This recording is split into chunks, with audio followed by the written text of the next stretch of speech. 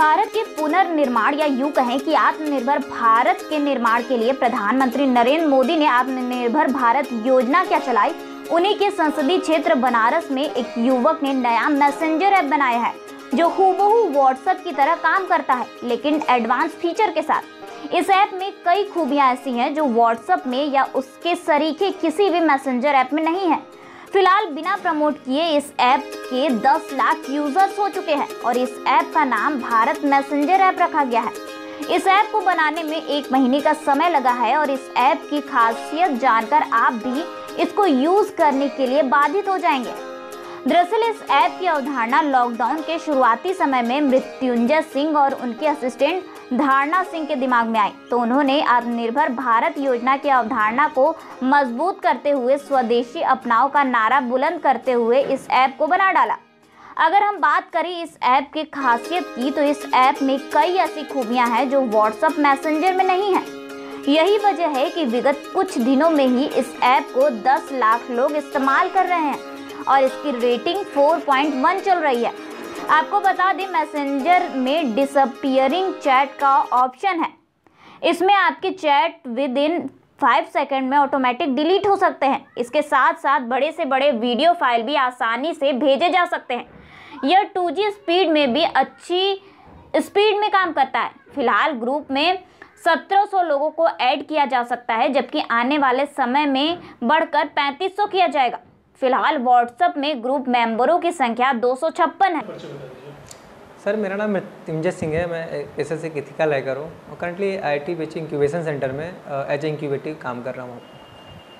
आपने किस तरह का मैसेंजर बनाया? हुआ है सर, एक मैसेजिंग एप्लीकेशन है जस्ट लाइक व्हाट्सएप में जो आप चीज़ करते हो, हमारे एप्लीकेशन पे कर सकते हो। हमारे एप्लीकेशन का नाम भारत मैसेंजर में रखा है। स्वदेशी को बढ़ावा देने के लिए भारत मैसेंजर इसलिए रखा है कि लोग भारत मैसेंजर समझ के लोग प्ले स्टोर डाउनलोड करेंगे। प्योर स्वदेशी है। प्ले स्टोर से आप फ्री में इसको डाउनलोड कर सकते हैं। इस एप्लीकेशन की सबसे बड़ी खासियत ये है कि आप जो सिक्योर तरीके से पूरा इन टू एंड आपका डेटा इंक्रिप्टेड रहेगा और किसी चैटिंग कर सकते हैं। आपको किसी भी चीज़ की खतरा नहीं होगा कि आपका डेटा आपका डेटा लीक होगा, आपकी प्राइवेसी कोई शेयर किया जाएगा, ऐसा कुछ भी नहीं होगा। और डेटा इसमें सबसे बड़ी बात है किसी चैटिंग करने के कारण आपका मैसेज पाँच सेकंड बाद सीन होने के पाँच सेकंड बाद ऑटोमेटिक डिलीट हो जाता है। सबसे इनोवेटिव फीचर इसमें है। जो डिसअपेयरिंग सिस्टम जो ऑटोमेटिक डिलीट हो जाता है।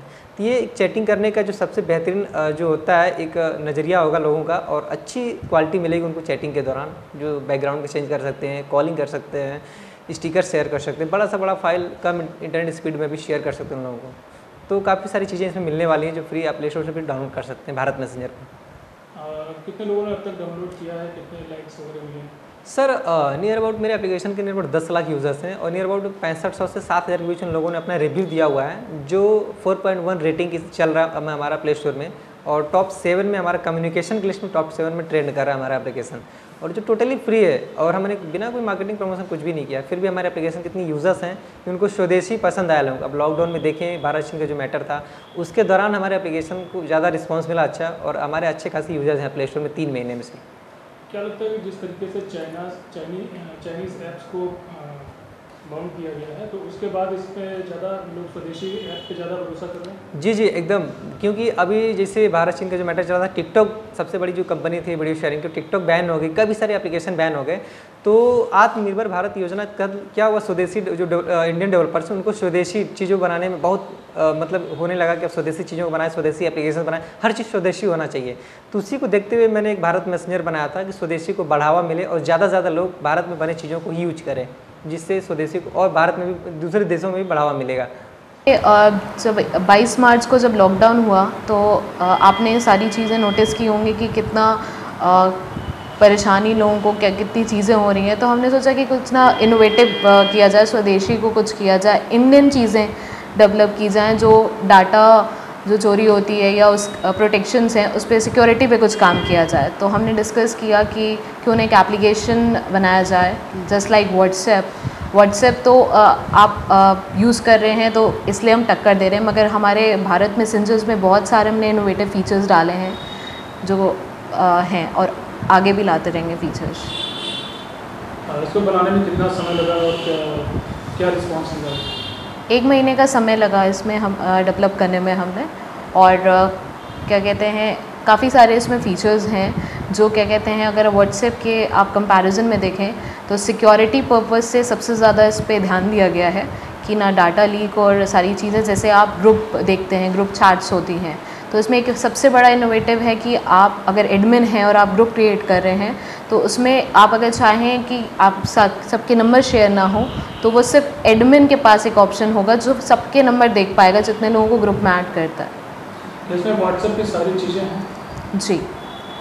जैसे ग्रुप चैटिंग वगैरह है या ग्रुप में जी वीडियो इससे ज़्यादा फीचर्स हैं। अभी क्या कहते हैं सत्रह सौ के आसपास हैं जिसमें आगे आने टाइम में हम 3500 के आसपास इसमें लोगों को जोड़ सकते हैं, ग्रुप में एक साथ ऐड कर सकते हैं। बेसिकली हमने ये भी मोटिव देखा था इसके पीछे कि जो स्कूल्स और कॉलेज जो अभी क्या कहते हैं, चल रहे हैं, उसमें आप 256 से ज़्यादा ऐड नहीं कर सकते, कोई ग्रुप बनाते हैं। और अगर स्ट्रेन ज़्यादा है, आप चाहते हैं कि एक सेक्शन के सारे बच्चे एक ग्रुप में हों, तीन का सेक्शन कंबाइन अगर 2000 बच्चे हों तो एक ही ग्रुप में हों तो उसके लिए फ़ीचर्स ध्यान में रखा गया है। तो अभी हमने 1700 ऐड किया है, उसके आने वाले टाइम में हम 3500 के आसपास क्रॉस करेंगे इसको।